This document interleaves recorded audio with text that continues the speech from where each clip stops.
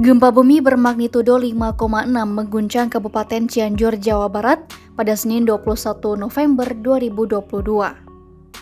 Gempa terjadi pada pukul 13.21 waktu Indonesia Barat, di mana pusat gempa tercatat berada di darat 10 km barat daya Kabupaten Cianjur, Provinsi Jawa Barat.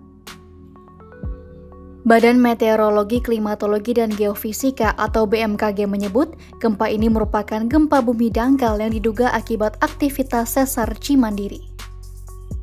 Hal ini didapatkan berdasarkan analisis lokasi epicenter dan kedalaman hiposenter. Eh, perlu kita ketahui bahwa wilayah Sukabumi, Cianjur, eh, Lembang, Purwakarta, juga Bandung itu secara tektonik merupakan kawasan seismik aktif dan kompleks. Disebut seismik aktif memang hasil monitoring BMKG menunjukkan kawasan ini memang sering sekali terjadi gempa. Aktivitas seismitas kita juga menunjukkan bahwa kawasan ini memang sering kali terjadi gempa dan berbagai variasi magnitudo dan kedalaman.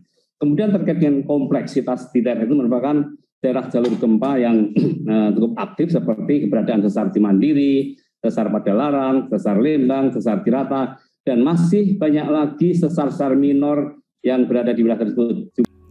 Dilansir dari geologi.co.id, Sesar Cimandiri merupakan patahan geser aktif sepanjang kurang lebih 100 km. Sesar atau patahan ini memanjang dari muara sungai Cimandiri di Pelabuhan Ratu, lalu mengarah ke arah timur laut. Patahan ini melewati Kabupaten Cianjur, Kabupaten Bandung Barat, dan Kabupaten Subang.